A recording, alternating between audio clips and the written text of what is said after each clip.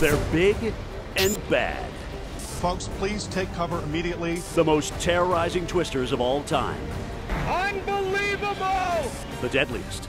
I'll never get my husband's screaming out of my head. The most destructive. Damage is being done in Tuscaloosa. A monster that rips a newborn from its mother's arms.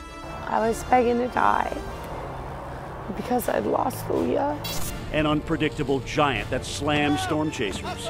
Next thing you know, it's just this violent tumbling over and over and crush, crush, crush. And a tornado so devastating, it still causes panic long after it's gone.